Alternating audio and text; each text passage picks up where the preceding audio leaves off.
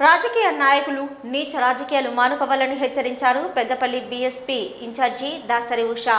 Peddapalli జిల్లా ఓదీల మండలం పోతుకపల్లిలో నలభై ఒకటో రోజు మన ఊరు మన ఉష కార్యక్రమాన్ని నిర్వహించారు.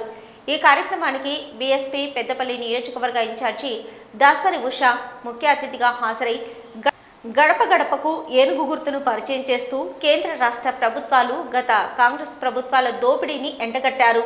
ప్రజల సమస్యలను తెలుసుకుంటూ బీఎస్పీ ప్రభుత్వంలోకి వస్తే అందించే పథకాల గురించి వివరించారు. అనంతరం దాసరి ఉష మాట్లాడుతూ పెద్దపల్లి ఎమ్మెల్యే దాసరి మనోహర్ రెడ్డి కొంతమంది అనుచరులతో నీచపు దుర్మార్గపు రాజకీయాలు చేపిస్తున్నారని మండిపడ్డారు.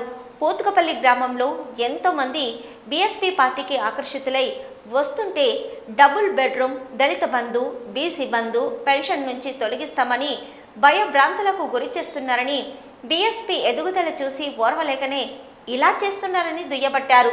మీ బెదిరింపులకు భయపడే రోజులు పోయాయని గత తొమ్మిది ఏళ్ళలో ఒక్క డబుల్ బెడ్రూమ్ కూడా ఇవ్వని ఈ చేతగాని దాసరికి ప్రజలే ఓట్ల రూపంలో బుద్ధి చెప్తారన్నారు.